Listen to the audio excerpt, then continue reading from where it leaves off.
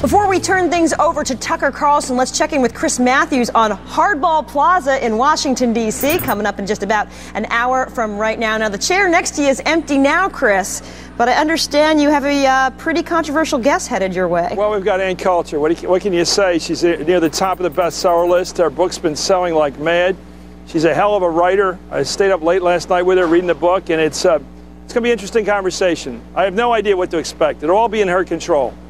And well, I find that hard to believe with you well, hosting that's the way show, it'll be. Chris. Because I'm going to be a gentleman. See what she says. Well, Chris, just for the record, I actually had someone, a family member, ask me this about Ann Coulter. She said, "Who is Ann? Why should I be listening to Ann Coulter? Has she been a lawmaker? Has she changed Mm. anything for the better in this country? Has she done something significant within the government that I should listen to her about politics?" Well, I think it's closer to P.T. Barnum, who you once said, if you want a crowd, start a fight.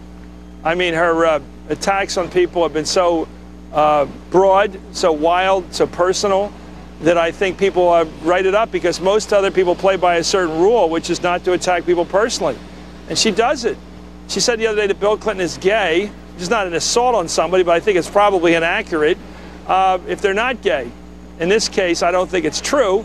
Uh, But obviously, by saying that on CNBC the other night, she's made a big story here because people don't think of Bill Clinton as gay. They think of him as rather uh, clearly heterosexual. And uh, it's a fun thing in a way, although I haven't checked with Bill Clinton what he thinks about it.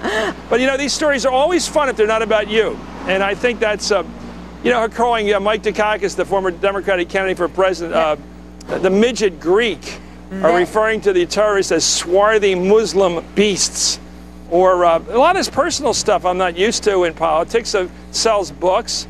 I think a lot of guys find her to be their sort of uh, surrogate. She says things wild so they don't have to say it. They read her books and they find it sort of scintillating that she can say things that they don't dare, sort of corporate types, more retiring gentlemen, I assume, read her books, and uh, they get a giggle out of it. It's, as I said, it's not harmless unless it's you that's getting hit. well, she's playing hardball with you, Chris Matthews. Well, no, no, I don't think she plays. No one plays hardball but me, but she'll be here. Oh, I said with you, sir. With you, sir. Well, she'll be a guest on hardball. All right, well, check out Let's not build her up any more than she's built up already. Chris Matthews. Thanks for stopping Thank by. Thank you. And thank you so much for watching. Now you're caught up on all you want to know, what you need to know the most. We'll be back tomorrow. Have a great day. Tucker's up next.